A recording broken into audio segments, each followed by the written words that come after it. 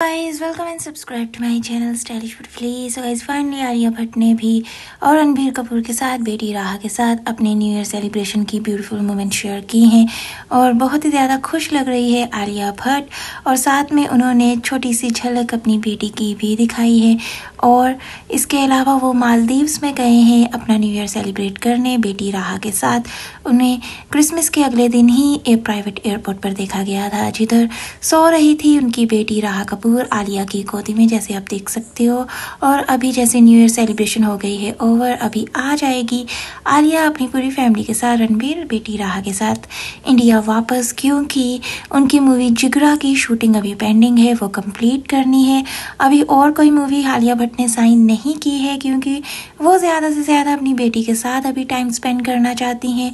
और रणबीर के पास भी अभी रामायण मूवी है, उसकी शूटिंग भी अभी स्टार्ट होना बाकी है। दोनों ही ज़्यादा मूवीज़ नहीं साइन साइन कर रहे इस वक्त। सो गाइज़ आपको ये वीडियो कैसी लगी ज़रूर बताना। अच्छी लगी तो मेरे चैनल को सब्सक्राइब करना मत भूलना। Happy new year by